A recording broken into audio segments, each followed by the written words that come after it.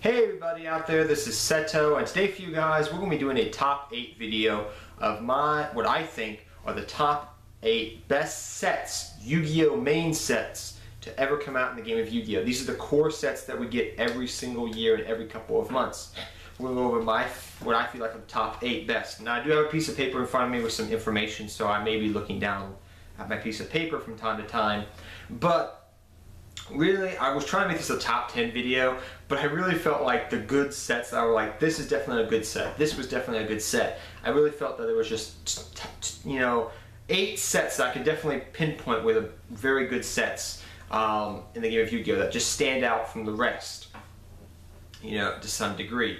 So without further ado, guys, we'll get into this top eight video. Um, I do want to apologize, guys. I'm not recording outside. They're cutting grass right now, so that's why you hear background noise, and the weather's getting kind of dreary, so want to record indoors for right now. So without further ado, guys, let us get to this top eight video. So at number eight, guys, we have Duelist Genesis. Now, when Duelist Genesis came out, you know, years and years ago, it feels like, back when Synchros first came out, there was a lot of I guess you could say, upheaval at that time in the game of Yu-Gi-Oh! Gladiator, Beast were one of the good decks. Uh, you had uh, Dad Return uh, was a deck.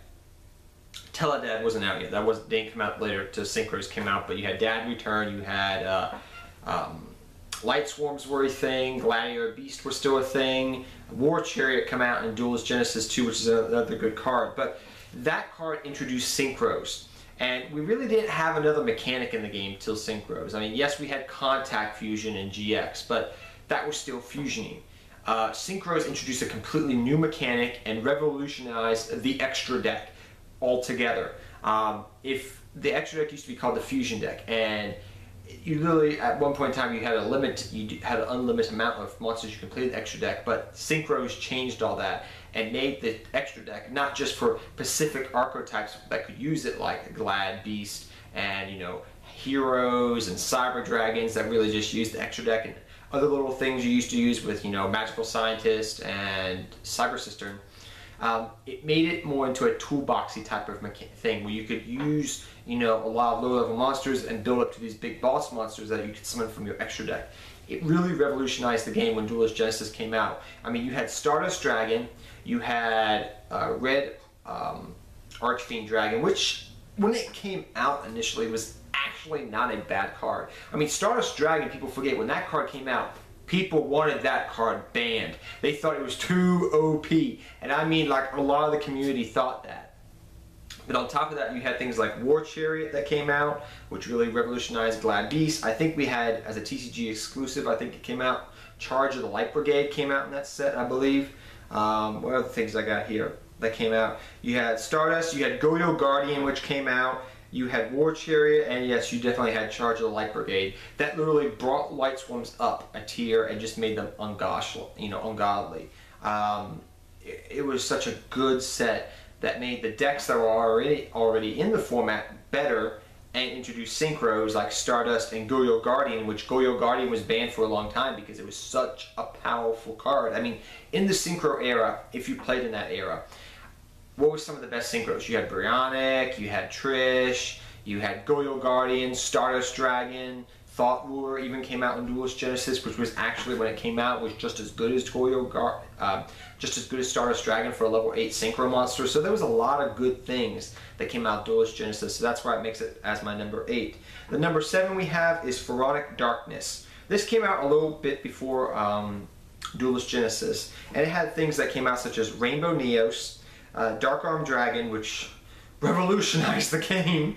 Um, Allure of Darkness, it even had six samurai support. It had Dark Grepha, Grepher, which we still see and use today in Dark Synchro decks at, at this moment. And Lone Fire Blossom was a freaking rare in the deck. Those are just some of the ones that stick out of that set. I mean, Dark Grepher, great card. It was used all throughout Dad Return. It was used in you know, Dark Synchro and other decks throughout the course of Yu-Gi-Oh! history. I remember when that card originally came out, people thought it was a trash card. Well, that quickly changed the mentality. And it was also used in Teledad. Uh, you had Allure of Darkness, which is one of the best probably draw get cards in the game, you know, next to Pot of Greed. I mean, that's legal, that is. Uh, because the fact of the matter is you just banish one dark monster from your hand, draw two cards.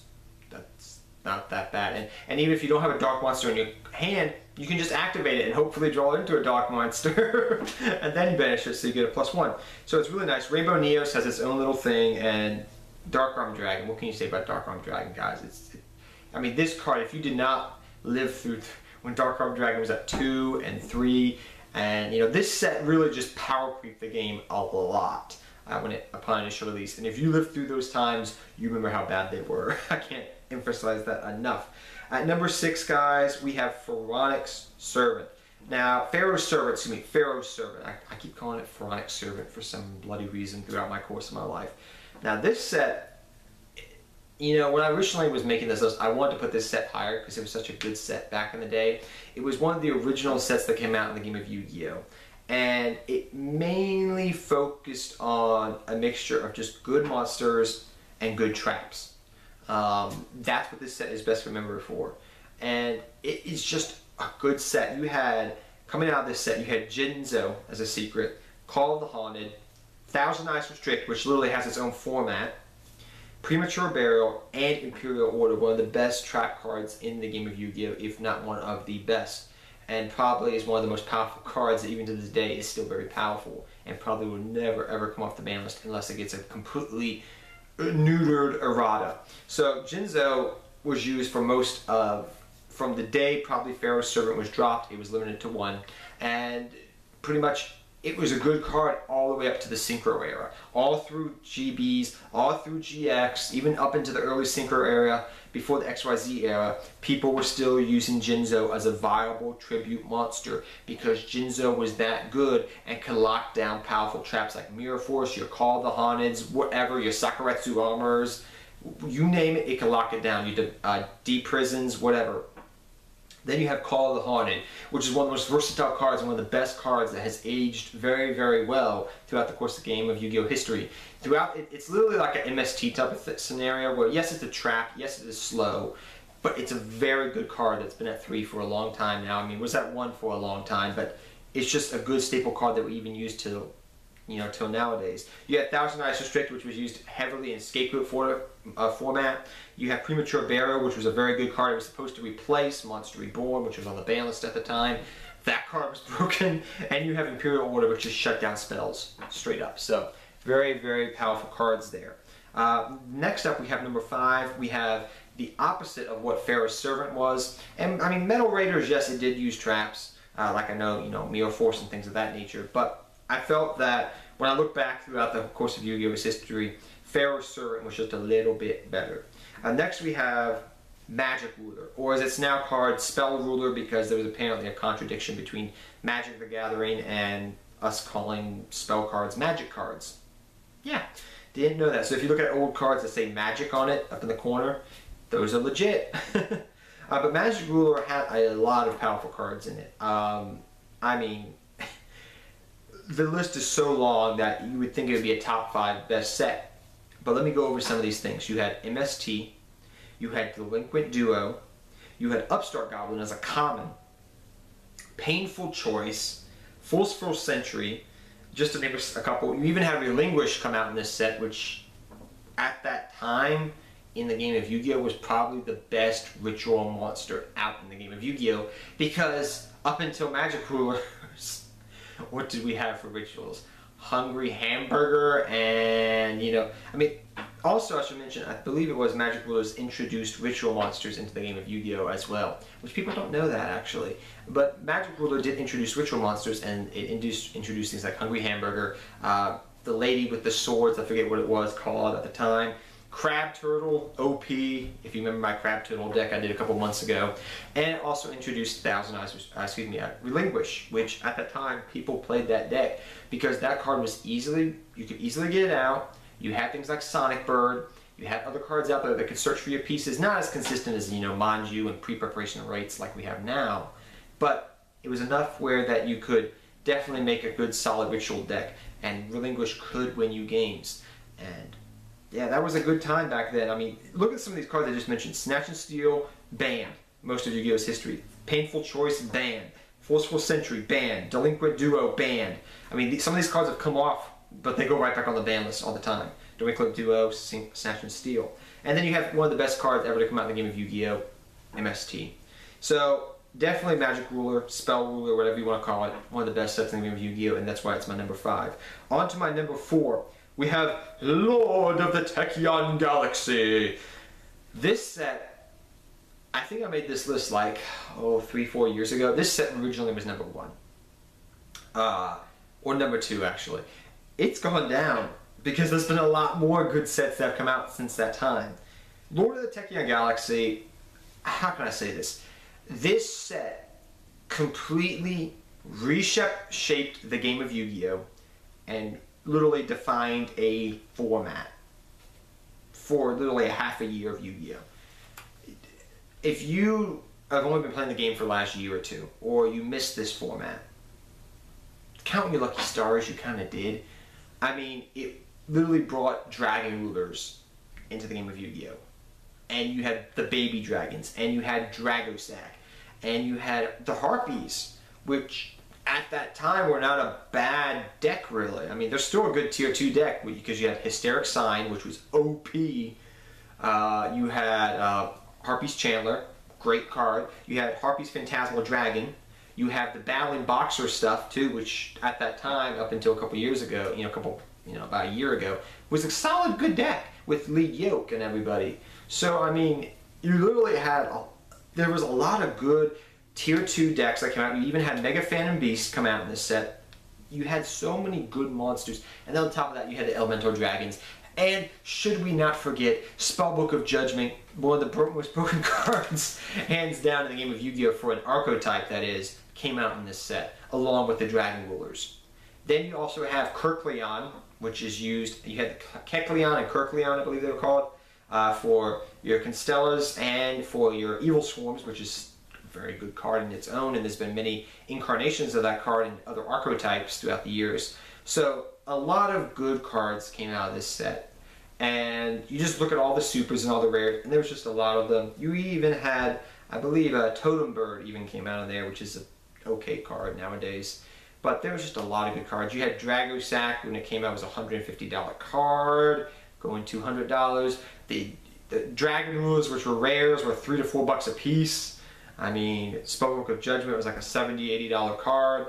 I mean, the set was ridiculously good and literally defined a format, defined an era, and up until the Dragon Rulers being banned last year, just, ugh. Ugh, let's go on. number three. Um, we have, for number three, guys, we have Invasion of Chaos.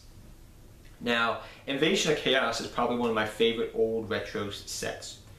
I personally feel like Invasion of Chaos really um, made special summoning no longer special.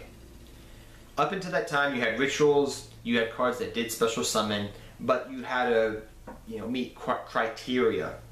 You know, that wasn't that hard to meet sometimes. Like, if I set Gravekeeper Spy, I had to flip it up, get the Gravekeeper monster.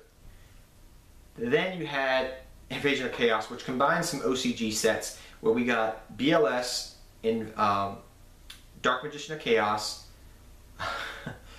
oh gosh. The big bad dragon, which I will not mention his name. Chaos Emperor Dragon, yes. We got Fusion, uh, which was pretty much you could banish cards, pay 2,000 life points, get cards. You had the Fusion card.